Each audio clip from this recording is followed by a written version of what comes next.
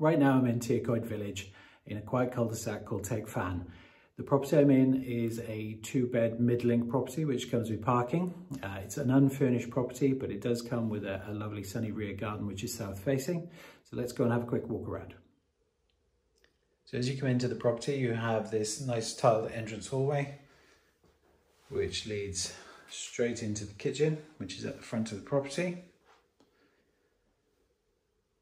Nice modern kitchen, plenty of storage units high and low. It is an unfinished property and doesn't have any white goods, but there is room for a stand-up fridge freezer and plumbing for a washing machine.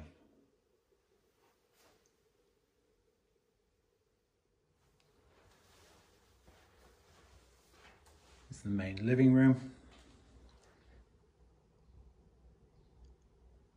It's actually a really good sized room and has these really nice French doors at the back of the property which lead out to the garden. It is a south facing garden.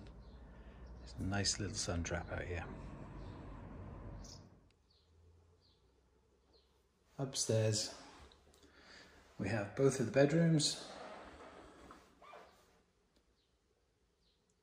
and the family bathroom. Main bedroom is at the rear of the property.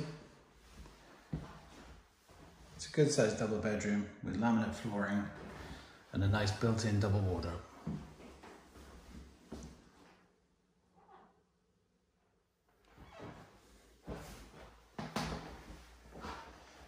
This is the second bedroom to the front of the property.